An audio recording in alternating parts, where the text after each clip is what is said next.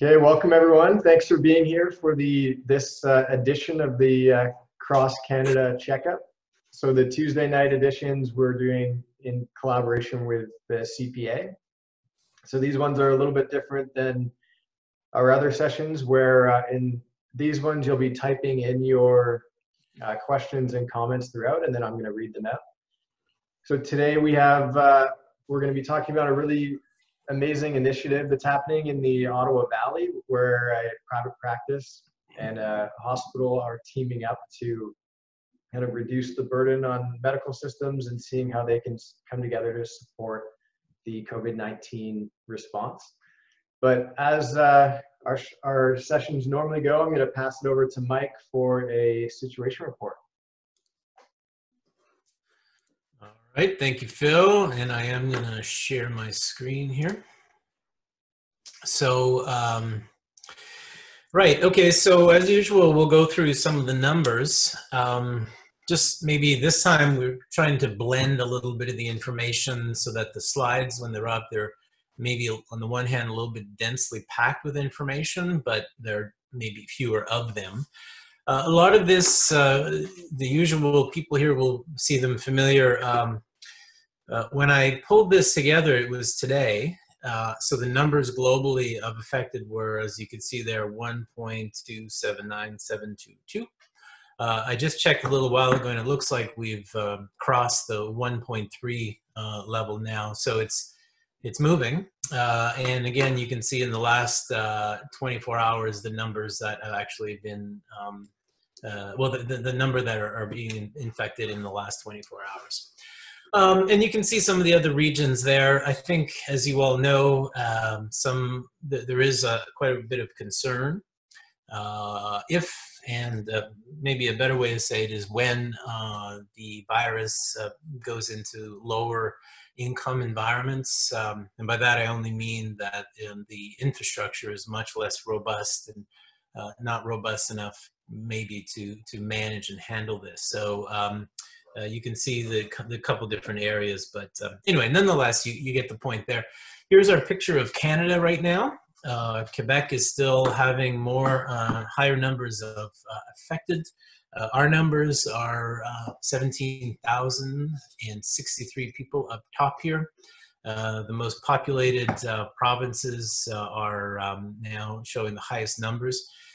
something that might be interesting over here in British Columbia, you see that um, it seems like their approach has really uh, had an effect on the number of new cases. So they're talking a little bit about, although it's way too early, that the curve might be starting to plateau, uh, which is of course a good thing. Um, other uh, nations are also witnessing this, uh, Singapore being one of them, South Korea. So it's not time to let off the gas, uh, but it is time to start looking and seeing, uh, being encouraged by some of the numbers. Uh, however, the picture is uh, changing. Um, so there, there are numbers. Uh, the picture is increasingly becoming clearer with new data. So as of today, uh, under the Centers for Disease Control and Prevention, so this is the US CDC, uh, they have started talking about the effect of COVID-19 on children. Um, and they they report some of their data as it, as it relates over the last few months. And uh, it, it, certainly, uh, the trends hold that children, although less likely to uh, be infected or um, acquire the infection, uh, those who have a compromised immune system or long-standing chronic diseases are more likely to get it than their uh, counterparts. So it, it, seems to be the trend here in terms of uh, those who are presenting with weaker immune systems or other diagnostic comorbidities uh, present as somewhat more challenging, or they, they, they will or have higher likelihood of uh, acquiring the disease. Uh, you know, some other interesting data. This is U.S. Uh, uh, data, or projections, I should say. You know, this is the epicenter now globally. There are more people uh, infected here than there were in any other country. So you, you, can see sort of, oops, pardon me, the projections here, uh, um, the, the, the, the, red line is the average, but you can see the estimated range uh, right here of possible deaths over the next month or two. Uh, so the couple of reflections here, and I'm not an epidemiologist, but a couple of reflections. One, when you see uh, a, a, a, low here and a high here, which is occupying such a large spread, uh, you, have got a lot of error in your modeling. Um, and I think that is only a reflection of this is a very new uh, type of uh, vector and transmission. It's not clear. So, so we do have a quite a large spike here, but you see the, when you look at the average, it's still pretty significant. And you see that it doesn't really, it starts to, to peak fairly soon and it doesn't really let off in terms of death uh, for about a month. So this, um, you know, here in the epicenter, I find myself in North Carolina at the moment. So here in the epicenter, this, these are some seriously concerning uh, data. Even if it's, even if the, the, we don't get to the high, if this was the best case scenario down at the low, we're still talking about pretty apocalyptic type numbers. Um, and so, so there you go. This is some some interesting things to be, maybe think about. Uh, we're going to be obviously posting this, and these are your references at the bottom. Um, maybe a couple things that are relevant to us in PT is that there are increasingly a lot of uh, reports around those who've recovered. And although it doesn't seem to me, at least, uh, clear what are some of the uh, protective signs for those who do recover. Um, uh, in other words, what, what makes one person different than the other in terms of severity of the disease. But, but nonetheless, I, I wanted to show you something. This is from The Guardian. And you can see here, Learning to Breathe Again, Long Road to Recovery. Uh, from muscle wasting to post-traumatic stress, patients discharged from critical care face tough convalescence. Now, I, th this is obviously a lead up, right, to uh, me trying to sort of underscore the role that we could have. But if you go into that article, here's a couple of the things that you'll you'll read, and uh, I'll just read it. This is actually coming from um, this one physician, ICU uh, physician, if you end up in a intensive therapy unit, it's a life-changing experience. It carries a huge cost, even if you get better. Our patients wake up, they're so weak they can't sit unaided, and many can't lift their arms off the bed due to profound weakness. They need to be taught to walk again, breathe again, and have problems with speech and swallowing. So here we go again. This is um, obviously a, a role that rehabilitation comes into play. Um, so, so it, uh, you know, I think one, we've already known this and we've talked about this on this and other channels, types of channels, but we're all uh, it is uh, it is only the beginning and so there is this long road and so for, for me personally and uh, you know maybe later we can have a discussion about it but um, this is a sign this is a white sign that says listen we got to be involved early on and uh, if you if one waits until uh, a better time to intervene along this trajectory, it oftentimes becomes a much more challenging rehabilitation process, as we all know.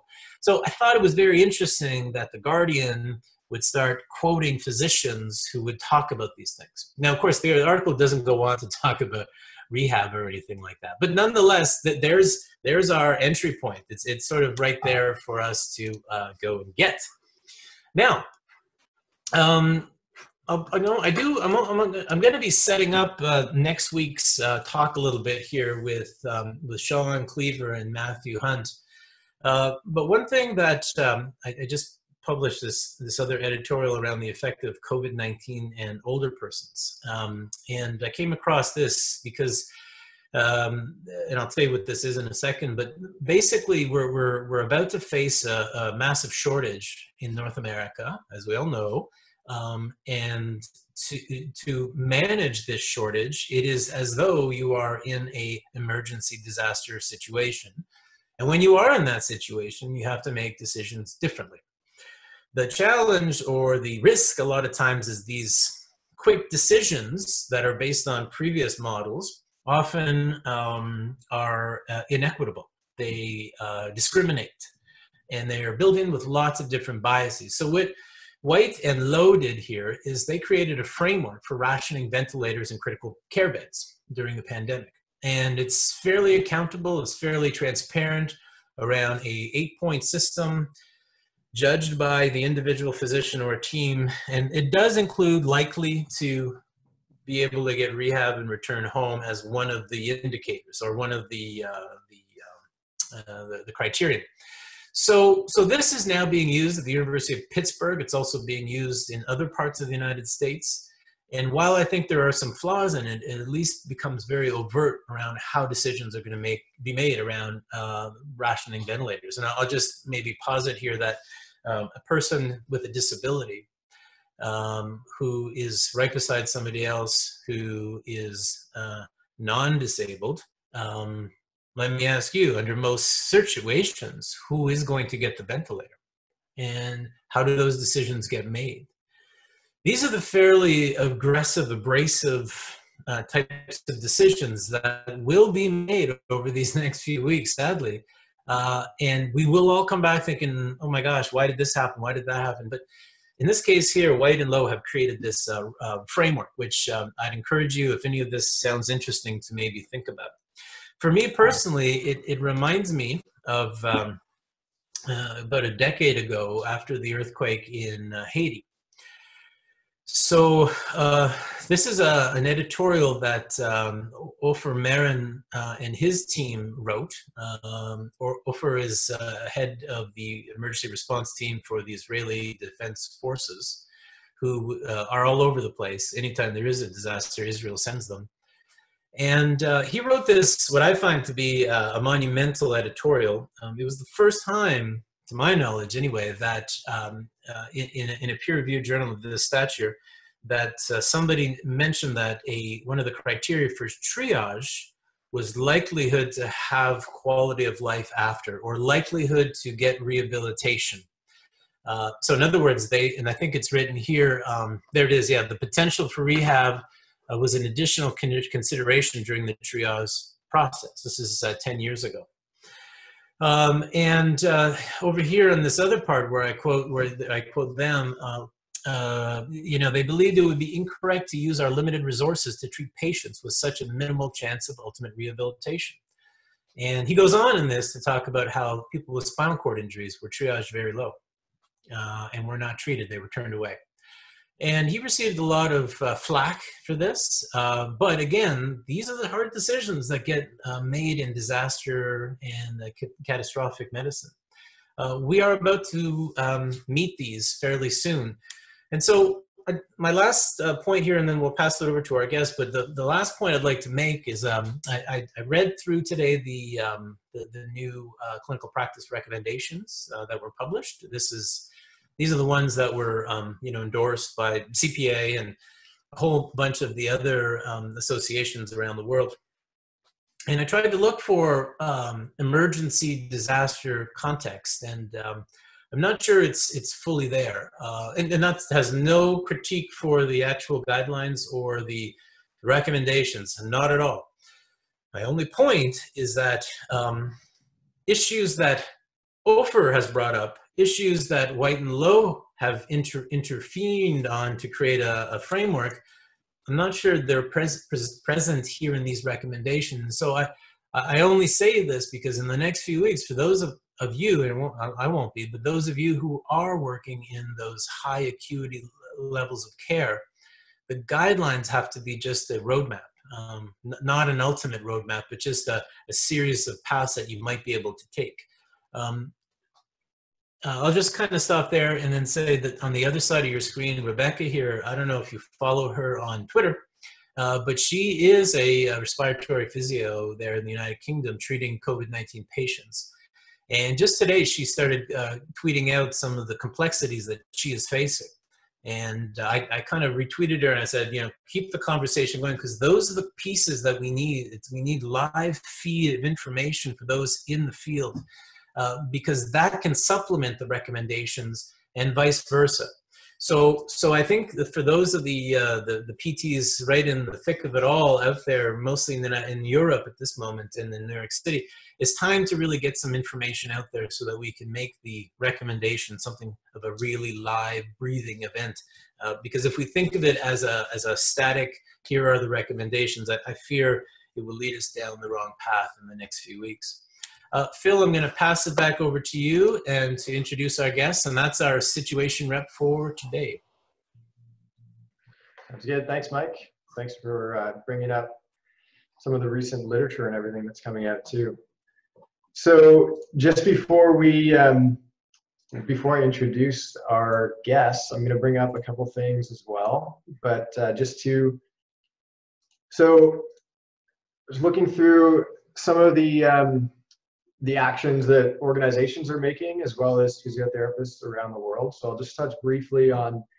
This was one that was one of the initiatives that uh, Humanity Inclusion is working on is really how to support and deliver rehabilitation and physiotherapy in some of their more complex situations around the world and where they're working. And then the other one that you might have seen is that Rachel, who we were on a, a talk with during the APTA um, Facebook Live or one of the sessions that they put out. So she, there's a physiotherapist at in the UK who's now the head of one of these COVID-19 hospitals that were developed. And there's a really good article where she talks about her role in terms of um, helping and assisting people that are on mechanical ventilation and the complexities around that. And also that she's taking a lead role in terms of that center, but also supporting and developing ones that are uh, being developed in the UK as well. So now, um, just kind of bringing that up to show that there are people all over the country and all over the world who are kind of leaning in as physiotherapists and rehab professionals to support COVID 19. And our two guests today are really leaning in in Canada, and they've really taken the initiative upon themselves to support their local community, support the local hospital, so that together they can combat and help to really provide a service and decrease the burden that we've been talking about so much on the medical system during this pandemic. So I'm my pleasure to introduce Patrick. So Patrick Cayen is a graduate of the physiotherapy program at the University of Ottawa. He also holds an MBA from Queen's University. And he's also the owner and managing partner of Ottawa Valley Physiotherapy and Sports Medicine, which was established in 1997 and has four clinics throughout the Ottawa Valley. And you might recognize Patrick, he's been pretty active on our Cross Canada checkup sessions. And although he did have a beard a few days ago, but now that he's working in hospitals and acute care settings, he has to be able to put a, an N95 mask on. So now he's all clean shaven for us. So it was it was a sacrifice, but we appreciate it. And then, so Patrick's going to start off, but then afterwards, we have Jen St. Michael, who's uh, she's a graduate of the Masters of Physiotherapy program at McMaster University in 2005. And after she graduated, she worked at Cambridge Memorial Hospital, and she has experience in a lot of different areas, so ICU, emergency, oncology, palliative care, acute medicine, and surgery, as well as outpatient and private practice. So Jen has worked at Renfrew Victoria Hospital that she'll talk about today since 2011, and she's been a senior physio, the senior physiotherapist there since 2013. And she has a special interest in cancer care, palliative care, and lymphedema treatment. So I'd like to welcome both of you, and we'll I'll pass over to Patrick to kick it off and let us know about the initiative.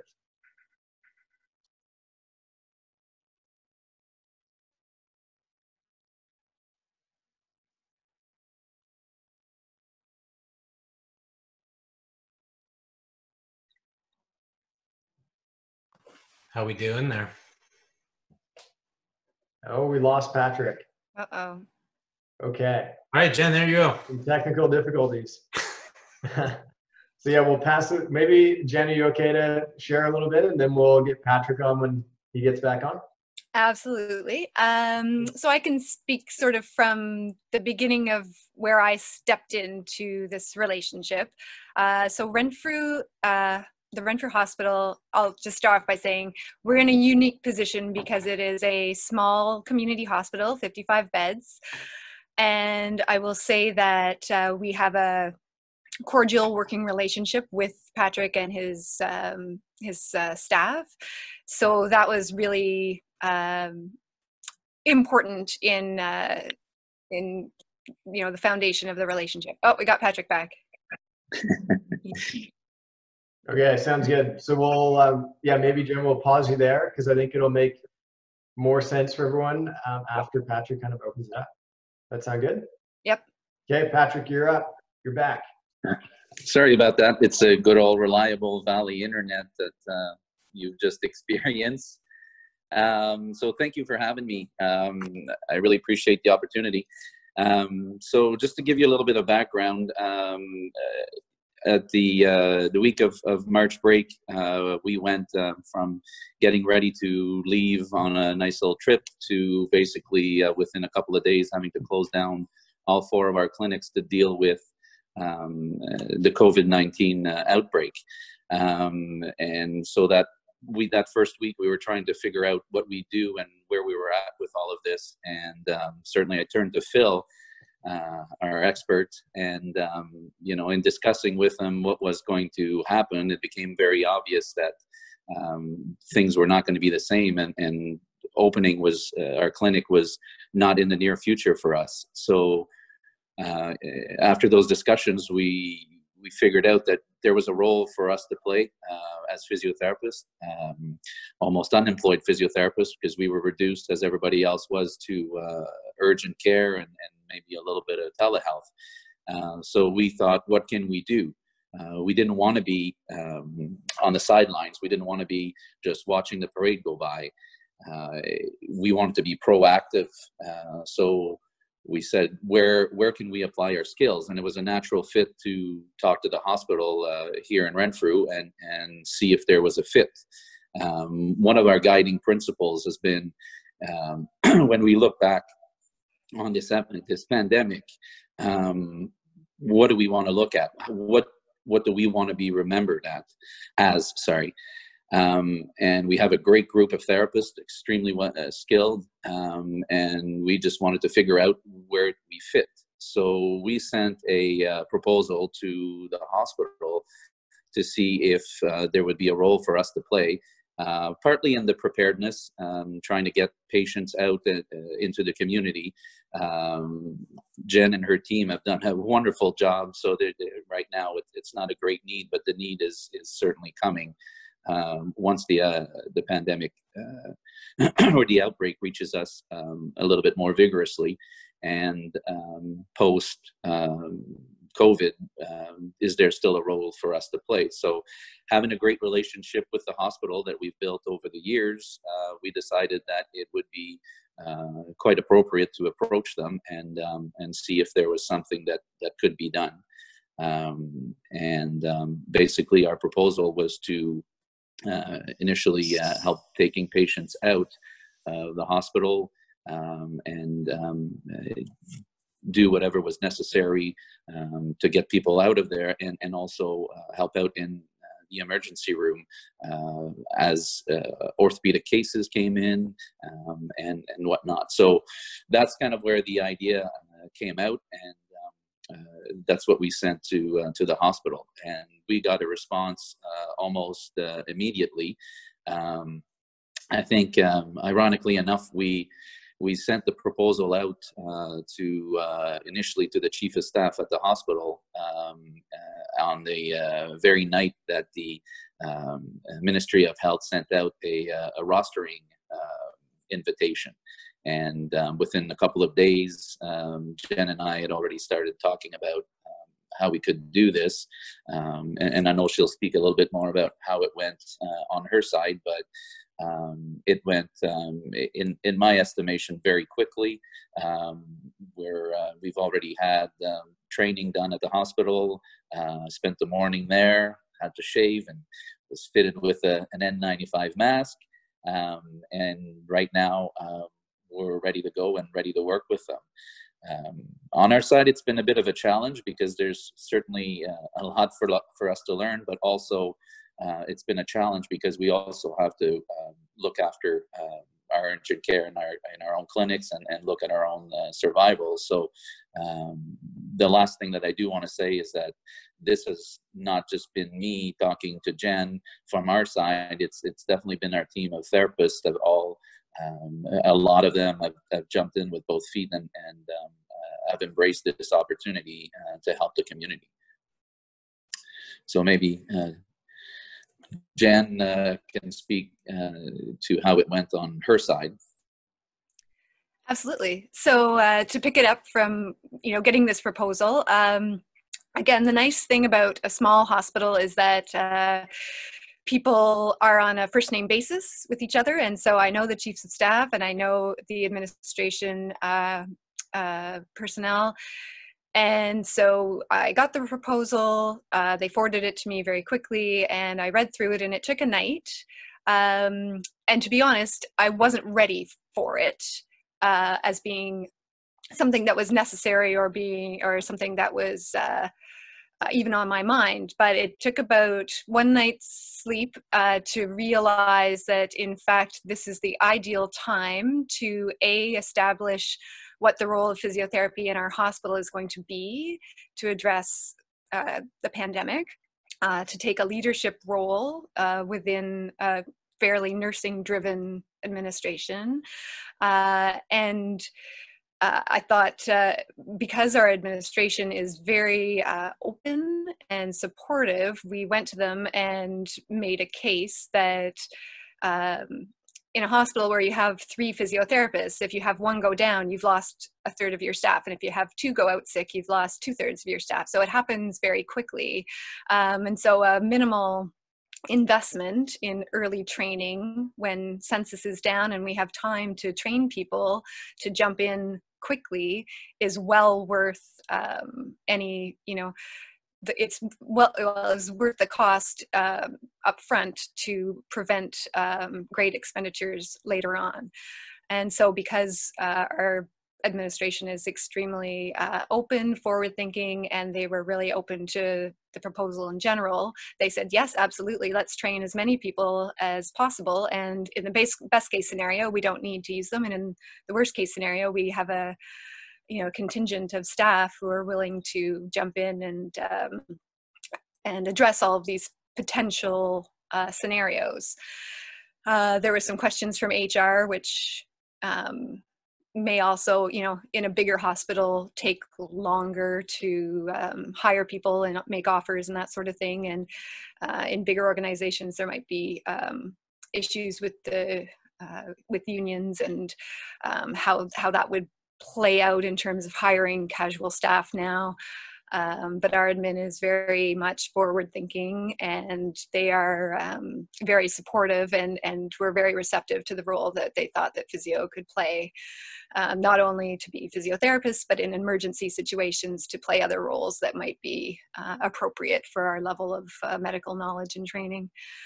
Um, so there's lots of exploration too in the future coming about um, you know, depending on census and depending on the need uh, to divert um, patients from from emerge um, because patrick also has a, a, private clinic not that we would exclusively direct patients there but we can sort of um, make him aware of needs in the community that we're seeing and and um, help that help people in the community to access services um, they might might not be aware of uh, so we're really lucky because the administration in our hospital is um, open and receptive and we have a really good working relationship. So it went remarkably quickly actually. And really at this point um, the um, the onus has been on uh, really quickly trying to put together training because we are on electronic documentation which is complicated um, and we are a small hospital with no ICU, but it is acute care. Uh, so we do have kind of a broad scope of practice right now. And so if you've been not in acute care for a, a little while, it's it's a lot to take in. There's a lot of rules and regulations that come with working in a hospital for health and safety reasons that people need to be made aware of. But now is the time because we have time I, the census is low in the hospital. This is the time to dedicate to training people, getting packages together. And when you put the time into arranging this now, it's much easier in the future to um, hire on more staff, whether it's um, physiotherapists or any allied health or, or um, anyone else in the organization. Uh, we've very quickly gone from in-person training to online videos.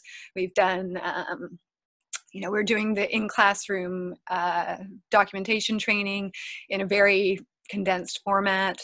Uh, we've gone to doing um, other uh, online modules um, that would normally be done in person. So the turnaround um, in the hospital on policy and procedure and how things are done, still in a very safe way, and it, it has been just amazing. And really, that's where we are now.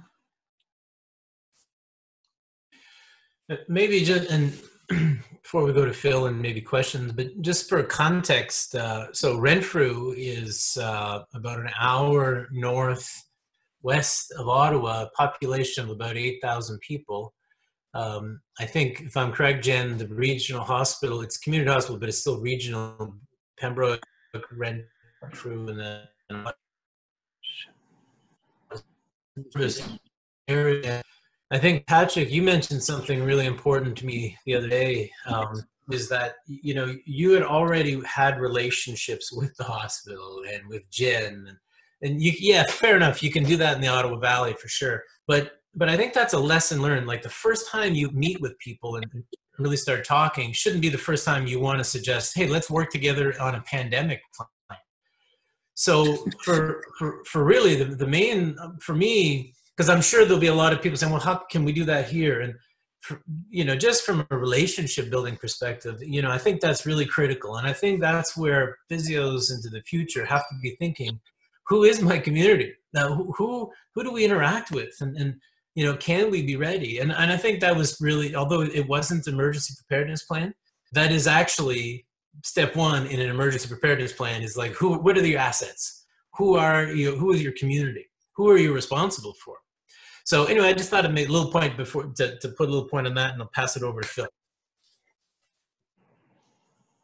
Yeah, that's definitely a good good point. And I, that's what I was going to bring up too. And that really, um, I've been kind of communicating with people across the country who are trying to get initiatives going and in different capacities. I think this is one where first it's it's really amazing because it was uh, two individuals who kind of well saw the opportunity and figured out where they could help. But then on the other end of it was um, having a physiotherapist in a hospital that recognized that what was coming in was something of value and working together to make it happen. So i think it's it's really incredible on both sides to to um, you know present it but then accept it. Because that's that's uh, that's another component of it. And i know a lot of people around the country that are trying to get things going likely didn't have that relationship before. So when they do say present it to um, either ministers of health, whatever the initiative is,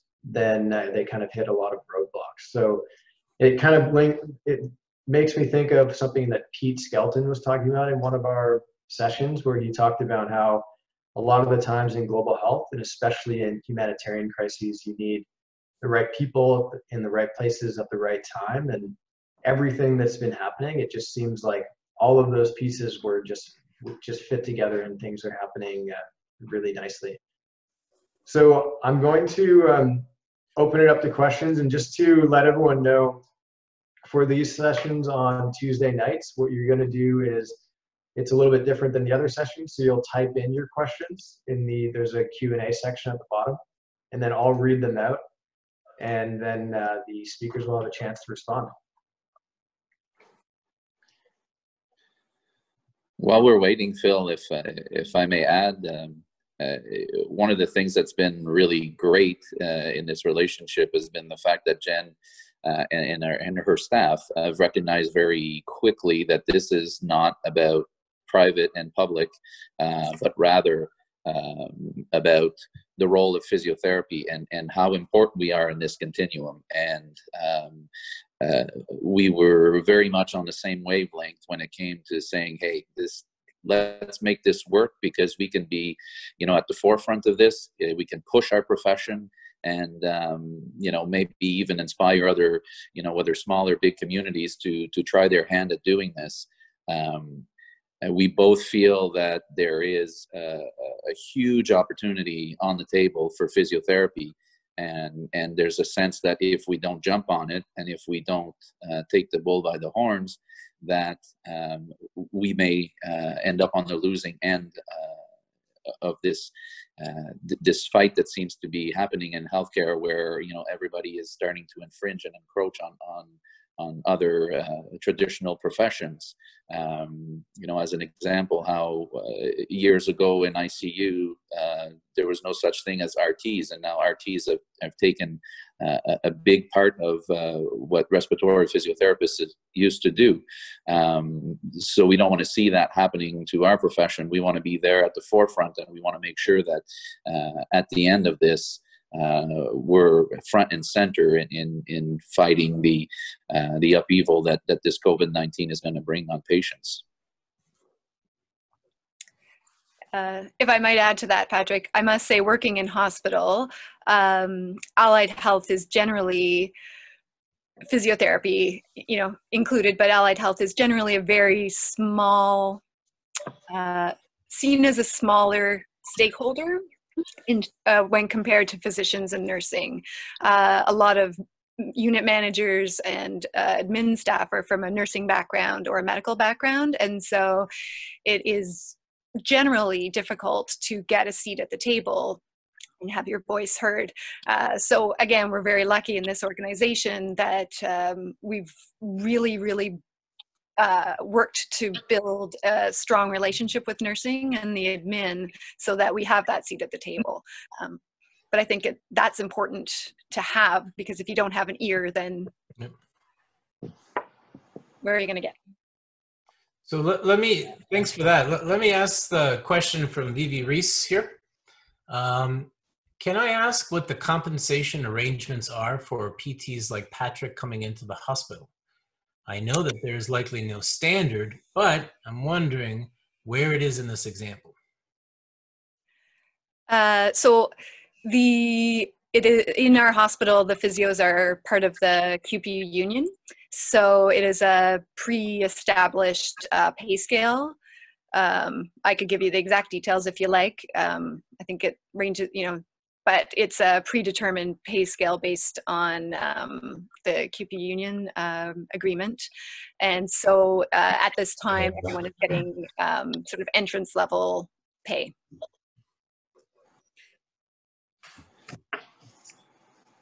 If I can add to that, um, when we endeavored to do this, um, th- that was not at the forefront. Um, we were certainly extremely happy when, you know, especially for the other physiotherapists on our team that, that have decided to join this effort, um, we were quite happy that there was uh, some compensation.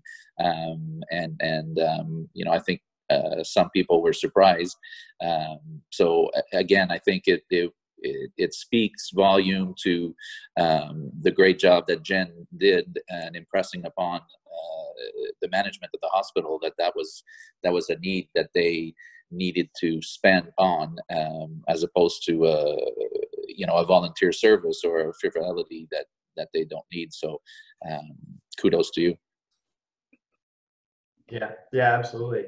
I know uh, yeah i mean i was even when patrick and i were talking about this we're both kind of surprised about that. And I think a lot of people are. So yeah, it is really amazing. Now there was another question here from Nicole who asked about the proposal. So she asked, what was, what exactly was the proposal? Was it just using physical therapists for functional mobility or what was included in that? That's a good question. Well, so the proposal, um, you know, uh, I, have been around the block long enough that if I submitted a 25-page proposal, it was going to be uh, put at the uh, at the bottom of the pile. So it was fairly short. Um, it was very to the point, um, but it had enough detail to describe what the role we could play in terms of uh, some of the things that you've mentioned, mobilizing patients and all that. But we we saw it as uh, go in do what our uh, do what we do best in getting people moving and getting people out of the hospitals because we're going to need beds. Um, and um, a, you know further that further to that was also um, dealing with uh, the possible onslaught of um, the emergency room uh, for not necessarily for the COVID cases, but if the doctors and and uh, nurses are busy with uh, those the the uh, non-ortho or non-directly uh, physiotherapy patients, then we need to be there to to support their effort for the for uh, emergency cases, um, and so that that's pretty much what the the proposal the proposal uh, highlighted. Um, and I think it's probably important to know too that the uh, the hospital itself is not a COVID nineteen designated hospital. Um, so in light of that, we're uh, and, and, maybe Jen can speak more to that, but uh, the expectation is uh, repat patients and and um, patients being moved out of centers where they are they do have to take COVID patients. Um, and and we make room for them by taking those patients and you know hence the circle of life, getting them out of uh, our hospital to create rooms for other hospitals, I suppose. Let me, let me, okay, yeah. oh, go ahead, Jen. Yeah. Uh, so, sorry, I should have mentioned before that, uh, so Renfrew is a, is not the regional center for um, COVID cases. So Ottawa and Pembroke would be um, admitting those patients, but there is a, um, so we've been told that we will be expected to take repatriations uh, from Ottawa and any other center out of our catchment that might require room or um, be at capacity.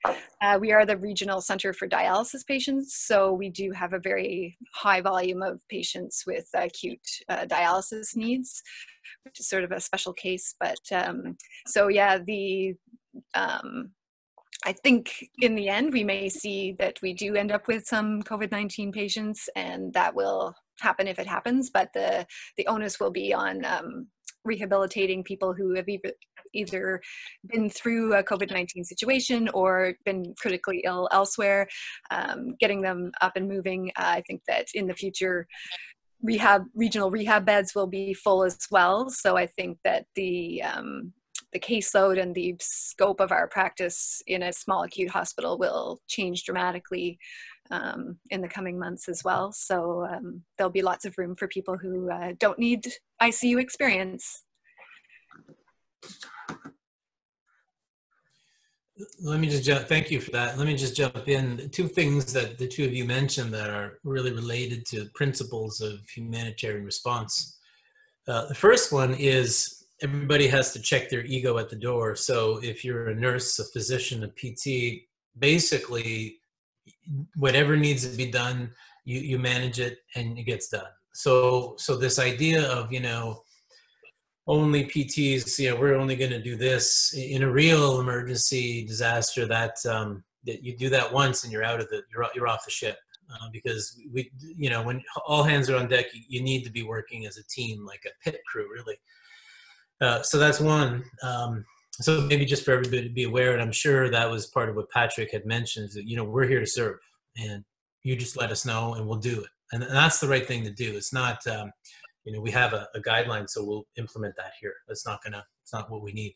So the second point they did mention that's really important is um, uh, really this idea that, um, well, anyway, I'll stop there. There might be some more questions. I just want to make an, a link between what you guys are just saying and humanitarian response principles. So thank you for making that.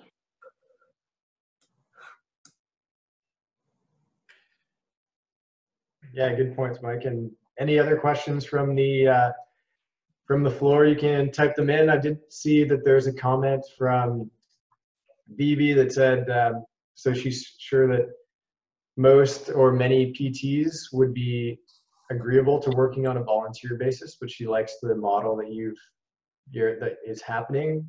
Um, rec- that models that recognizes the need to be fairly compensated. So that is, yeah, I'd, I'd agree with that for sure. Um, and then, so there was another question on uh, how many tests were being done in the area, but I don't know if that would be something that you could uh, answer or if you'd have any information on.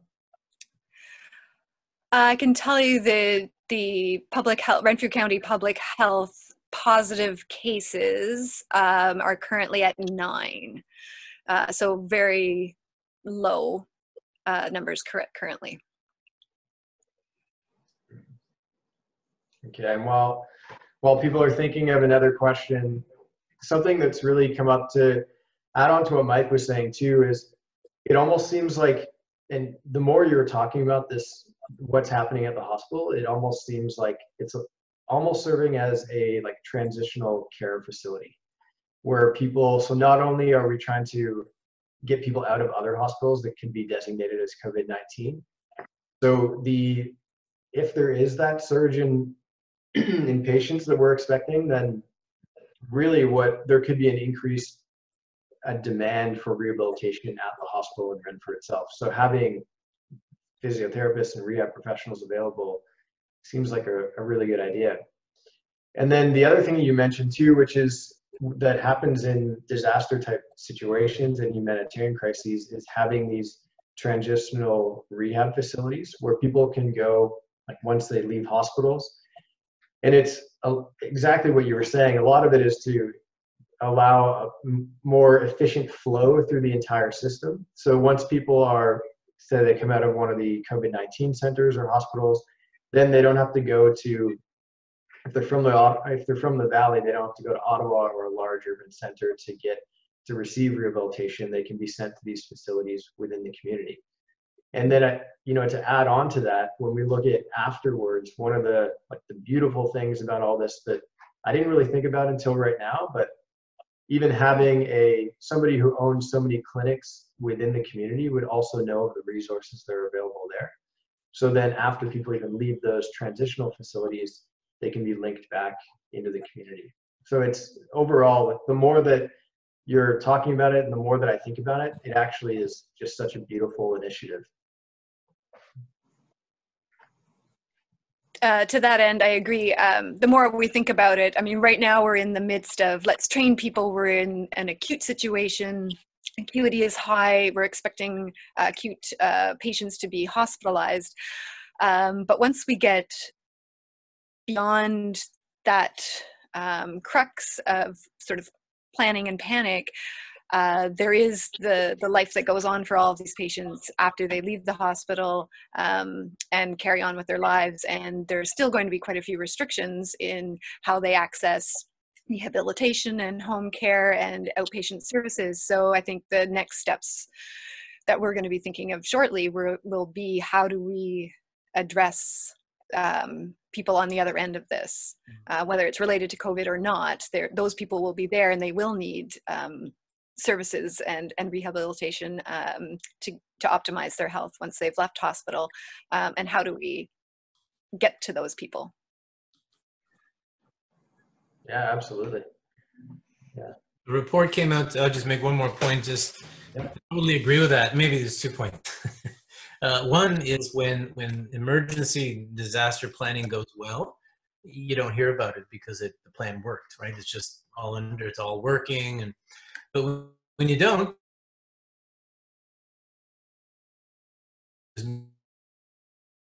so, so to just congratulate the lead around here, like Patrick for stepping in, Jen, you know, whoever is the CEO for for taking a chance at this. And I think it's up to us and you to make it work, and then we report on how well that actually works. So I, I think that's really critical.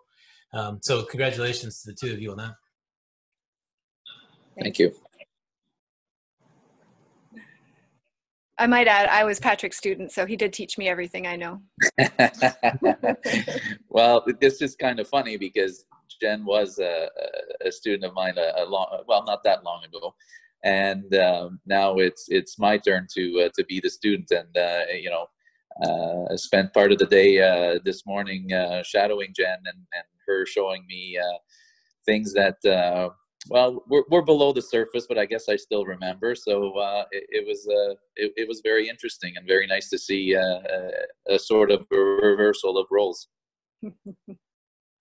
Well yeah. it goes to show that everyone's willing to put their egos aside and and uh, work to their strengths and admit what they don't know and work together as a team.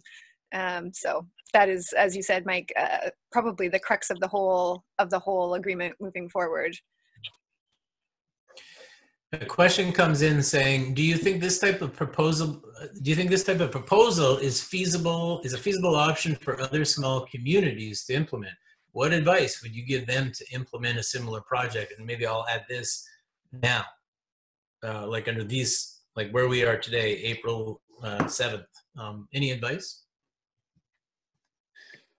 Um, I think uh, having a contact in the hospital, regardless of who it is, uh, you know, it's even better if it's if if it's in the physiotherapy department or if it, if it's in management. But use your contacts um, and and don't come out, uh, you know, uh, thumping your chest and, and pretending that you have the issue uh, in hand and, and you know what to do. Uh, I think it's from the private sector, I, I guess, the pri- uh, approaching hospitals.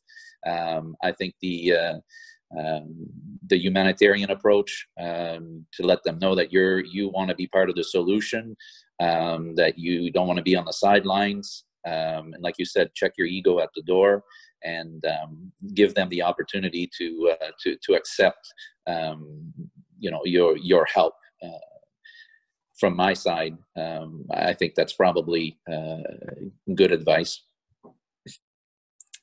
uh, to add to that i would agree and i would say do it sooner rather than later because um, depending on where you are uh, census is generally lower now uh, in hospitals. So this is the time to um, receive training, to make proposals, to uh, speak to people when they have time. Because once we're in the cr- in the crunch of this, um, it's all boots on the ground, and and time for those sorts of things has sort of passed. Uh, so if when everyone's in panic mode, it's much harder to think clearly and get people in in a safe and efficient way. Yeah, absolutely. Yeah, and the um, we kind of keep coming back to this too. We say you know an emergency means now, and the sooner the better, and and speed is of the essence. So it's it's really um, it's impressive that even within a hospital you've been able to manage that and uh, allow things to happen quickly when otherwise they wouldn't. So now there's a, another question that came in from Jenny. So she's she's asking, so in terms of having a step down facility, what do we think our role is in terms of advocating for publicly funded COVID recovery once out of the hospital system? For example, in BC, anyone who gets a knee replacement is allocated 12 PT visits at the private clinic of their choosing. So, and then who is responsible for this training? And then, so I'm not aware of, of many cardio PTs who work in private practice. So I guess, so a couple of questions. So what do we think our role is in terms of advocating for public funded COVID recovery? And then who's responsible for the training and kind of where we would find those individuals?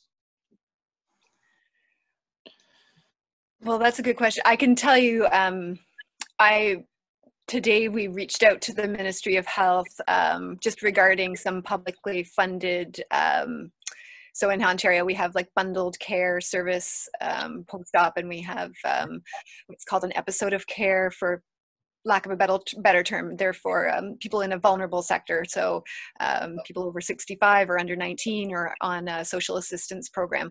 So we reached out uh, to see if the government would consider funding any of those people to receive uh, telephone or telehealth type uh, treatments um, that would be funded. Uh, and so we haven't heard back yet um, about that. Um, whose role is that to advocate? I guess all of ours. I don't know. I'm not much of a mover and shaker, so maybe that's a better question for you and for Phil and Mike. Well, from my end, I would I would agree with you that there's not a lot of uh, cardio arrest uh, therapists or, or, solely cardio arrest therapists uh, out in private practice. Um, I, I just don't know once they're past the acute stage um, whether the requirement for uh, respiratory physio is going to be that far out of the uh, the, the, the range of what is uh, let's say comfortable for even our, our so-called MSK uh, physiotherapists. I know that um, one of the things that, that we're going to be leaning on uh, Jen and her team is is to you know pass on some nuggets and, and of knowledge and and um, you know help us out in that department. But I, I do think that our core competencies um, you know certainly uh, include uh, doing chest physiotherapy and and once uh, they be, they get into the recovery phase. Um, you know, I, I do think that um, it's not that far off uh, for other therapists that don't work in hospitals to to get to that level of care um, where patients are going to benefit greatly from those types of interventions. So. Mm-hmm. but as far as funding goes, I don't know.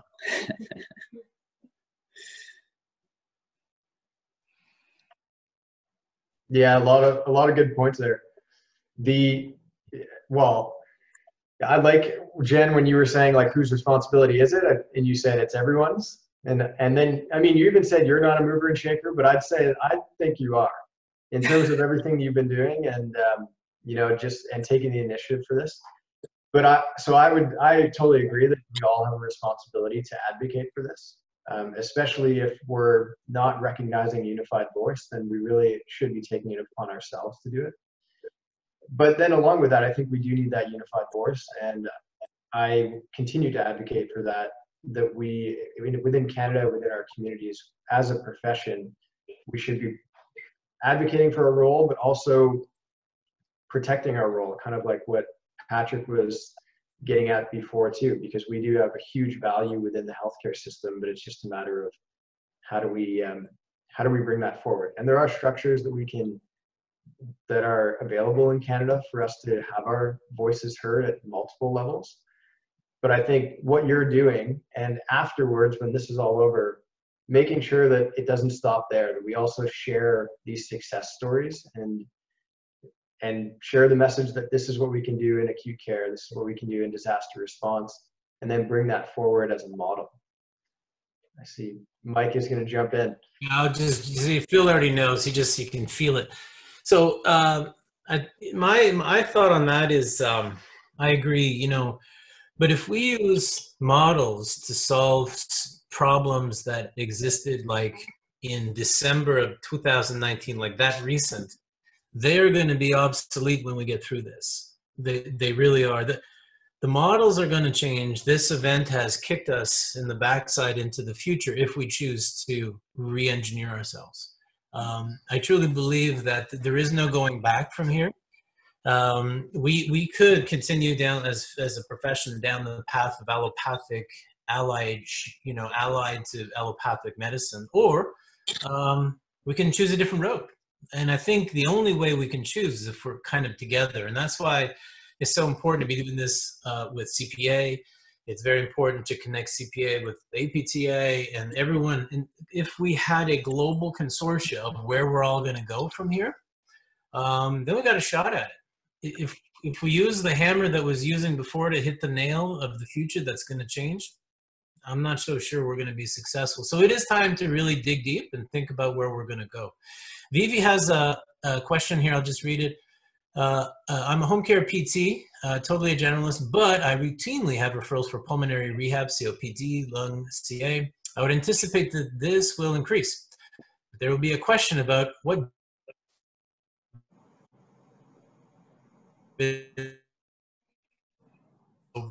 yes there you go volume leads to quality and if you're doing low it's hard to get to that quality measure when you're doing low volume but uh, but what Vivi is talking about is um, it's going to be everybody's responsibility. Maybe we create a new sector, maybe a new profession out there. Who knows?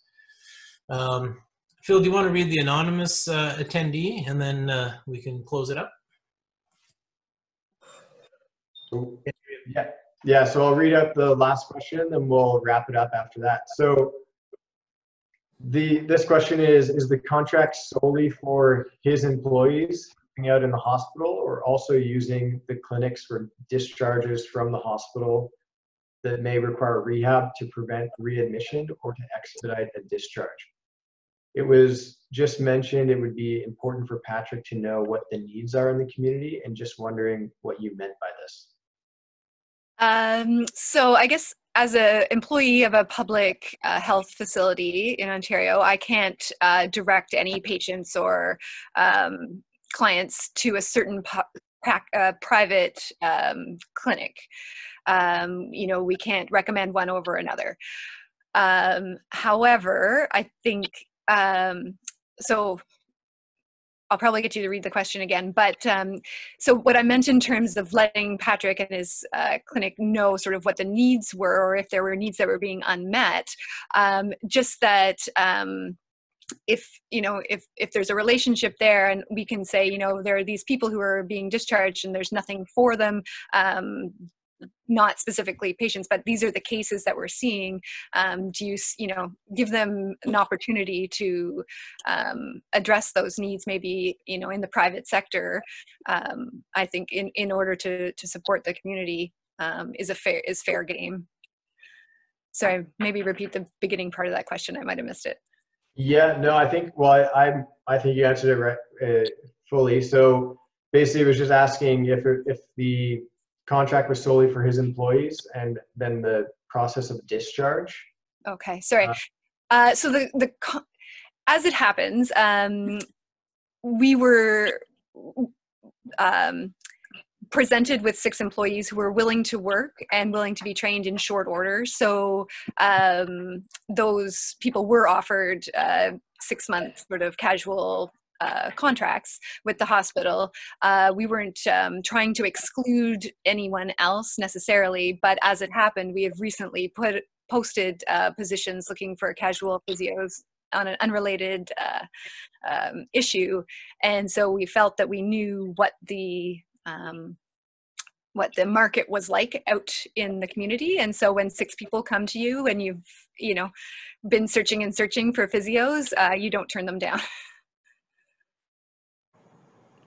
Yeah, yeah, and I think that's great. And even your your points on having really re- services that are available in the community, understanding what the issues are, and and um, and just having a say someone who typically works in private practice work within a hospital, and then being able to see the entire continuum of care for those individuals, it will be a benefit for everyone and not only for that specific clinic but also for you know sharing those lessons learned from a private practice physiotherapist going to a hospital, but then also having those patients come to him.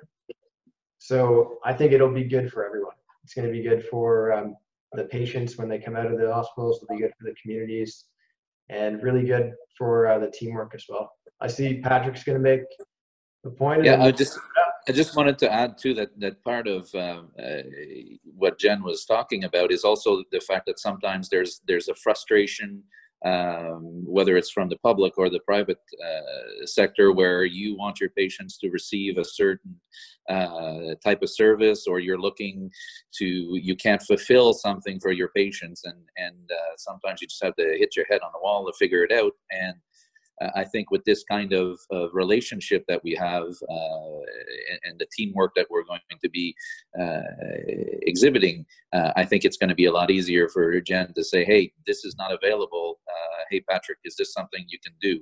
Um, and I think that that's a big part of the the relationship. Uh, uh, we have an opportunity to learn from them just as much. I hope that they have an opportunity to. To learn from us, and um, although this is not speaking to the exclusivity of our team by any means, but I know that what works well in this arrangement from our side is that we have we have a, a critical mass of people that are uh, interested in doing this, but at the same time, we also have a second part of our team who uh, because of either a distance or, or uh, whatever condition, they, they can't necessarily be at the hospital to provide those services. But those are the people that have stepped in and, and are playing other roles within our clinics, and whether it's our urgent care or or whatnot. So um, I, I, think that that's a big part of, of why this is going to be successful is because there's there's key players uh, within our team that are jumping in at that different phase of this this offer. It may not be upfront and right at the hospital, but it is somewhere in the continuum of what we can offer.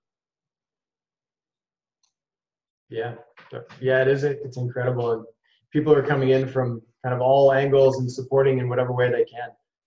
So we'll we'll wrap it up there. But I just wanted to take another opportunity to thank you for well, coming to speak with us, but really for the work that you're doing and really for your leadership during this time. And we're all kind of looking to both of you as leaders in this pandemic, and I'm glad that we're, we're able to share it. So thanks again, and thanks to everyone for being here. Thank you very Thank much. you for having us.